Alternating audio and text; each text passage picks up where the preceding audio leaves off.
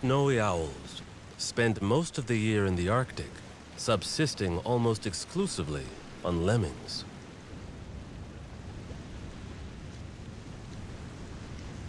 But here on the ice floes of Lake Huron, there are new opportunities.